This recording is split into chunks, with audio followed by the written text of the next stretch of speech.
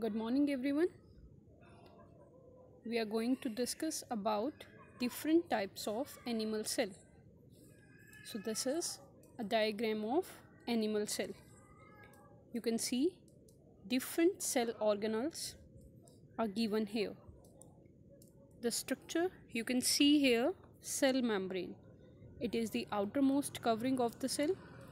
In the center nucleus is located in the nucleus, DNA occur and rest mitochondria, lysosomes, ribosomes, cytoplasm, endoplasmic reticulum, Golgi apparatus. These all are cell organelles. So basically, this is a general structure of animal cell. It is a slide of onion peel. When the school will open, we will prepare this slide you can see the color of the slide is purple but it will not look you purple. Why? Because while preparing a temporary mount of onion peel we used a chemical or stain that is safranin stain.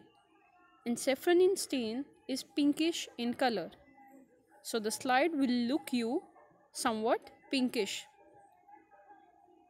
you can see that the size of the cell is large. The one box is considered as one cell and in the periphery not centrally centrally you can see some dot like structure that is nucleus. So onion peel is a plant cell or animal cell. It is a plant cell. Next it is animal cell sperm.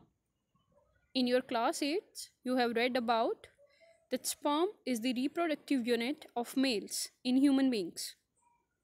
Or we can say that sperm is the male gamete that help in the process of reproduction. So this is how a sperm look.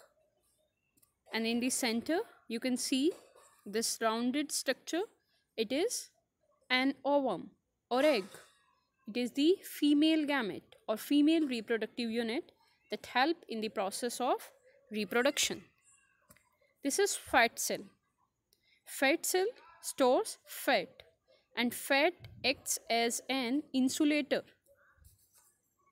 Blood cell, you all are familiar that these are, are blood cells and all the cells are red in color. It means these all are RBCs because red blood cells are red in color because they all contain a red color pigment that is hemoglobin. This is smooth muscle cells. In chapter 6, we will study this type of cell. Thank you and have a nice day.